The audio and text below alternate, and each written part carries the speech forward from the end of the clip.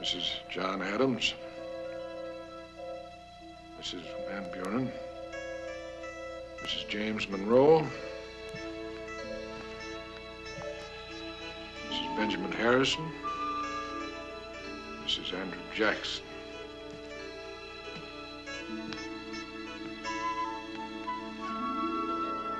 Mrs. William Howard Taft.